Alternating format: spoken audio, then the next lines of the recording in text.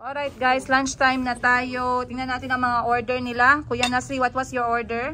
It's beef, Aha. soup, yam, Ah, greens, and rice. wow, yam, boiled yam, Yeah. greens, rice, and beef sauce. Very good. Ali, what was your order? Rice for sure. mm. And Good sweet. goat's meat. Alright, next, what's that one? Beef and rice. Okay guys, ngayon ang in-order ko, itong lokal na food na to. Meron tayong ah, greens, merong kanin, merong matoke or yung mashed na saging, merong boiled yam at merong kalo. Guys, tingnan nyo naman tong kalo. Parang donut na parang jelly. As you can see. Ayan. So, etong kalo ay actually made sa harina ng kasava at millet. So, ganyan ang itsura niya at ito ay isang common delicacy or common na kinakain dito sa distrito ng Bundibudyo. Para naman sa sabaw, ito ang aking partner. Paa ng manok at sabaw. So, tikman natin muna. Konting kalo, ayan. Sausaw natin at sabihan natin yung lahat. Mm. So, para siyang palitaw sa Pilipinas. Pero dito, para siyang ginagawang kanin. Mm. Okay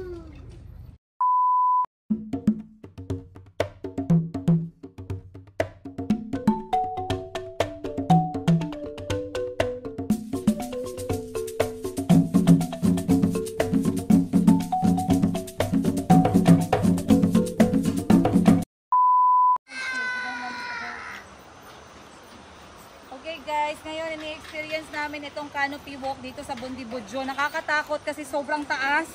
At yung, yung, ayan. At ang bridge ay napaka-shaky. Tapos dumadaan yung mga motorsiklo. Mom, we have to go.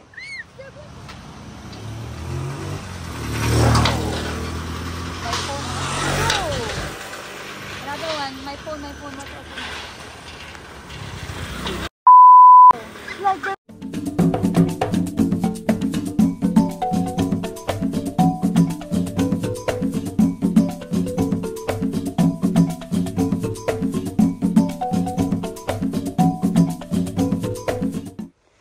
Alright, dahil mainit ang panahon at merong preskong tubig doon sa baba, pupuntahan natin kasama si Joseph at si Timothy at ang mga bata.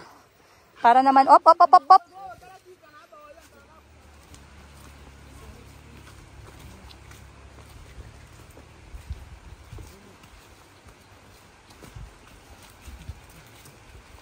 Dito sa mga probinsya ng Uganda, very common din na yung source ng kanilang tubig ay mga sapa or mga waterfall. So ngayon meron kaming nadaanan na sapa, hayaan ko yung mga batang mag-enjoy. Actually guys, ito yung gusto ko yung mga natural lang na way, yung mga hindi pinagpapanuhan. Katulad ng ginagawa ngayon ni Kuya Nasri, Kuya Kahil, ni Kulit Kulot, tsaka ni ah, Muhammad Ali. At the same time, meron kayo nakikita dito na ah, lokal na naglalaba ng damit.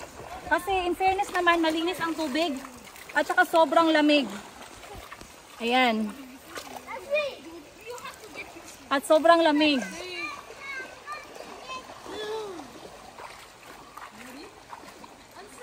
my country, then we wash.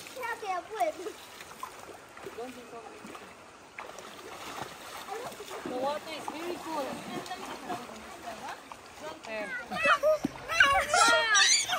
Ah, don't push your brother to do something he doesn't want water, please. I need help. Come, okay. I need help. But no. Now sit here. Sit here. Don't swallow, ah.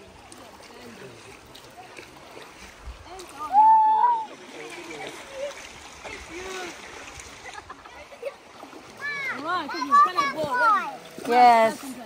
Three. Don't swallow water, huh? Close your mouth. Close your mouth.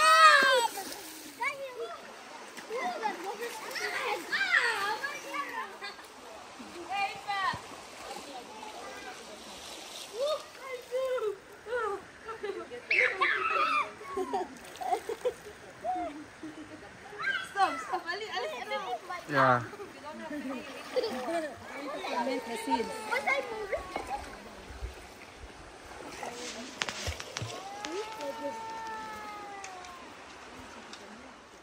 Close your mouth, guys.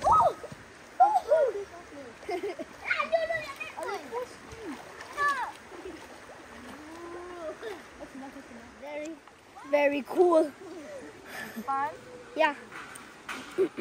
Guys, my this water is very cold and it was very fun. Bye-bye. Although Bye-bye, I got Lemono. my pants wet, but I still enjoyed. Okay guys, ngayon napagdesisyonan namin na dumiretso na dito sa Bundibujo Nyawuka Bridge. As you can see, para siyang canopy walk, pero I noticed na it's not only for the walking, um, it's not only for the walking community, pati yung mga boda-boda or yung mga motorsiklo, dumadaan din dito. So sobrang useful nito para sa mga local community dahil nakakat nito ang distance na supposedly ita-travel nila to the main town by 4 kilometers.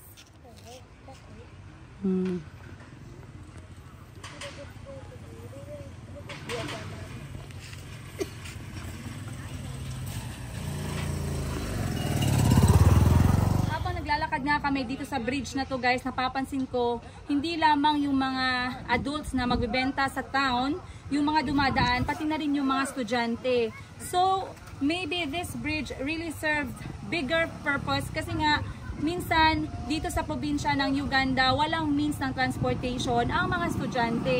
At bridge na to, nagiging shortcut way ng mga bata para mas mapadali nilang maabot ang kanilang eskwelahan. What are they doing? Huh? Finishing the soda. What are they doing? Oh, that's enough na. I did not even drink. Me, I did not drink any. Thank you.